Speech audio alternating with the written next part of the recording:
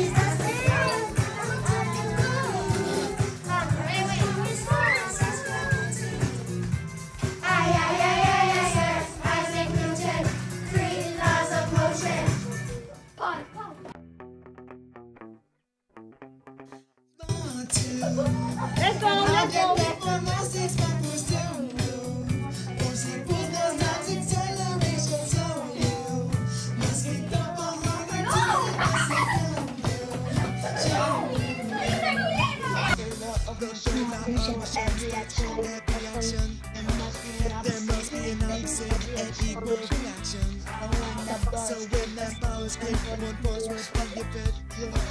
The other forces that will miss in opposite directions. Forces in that changes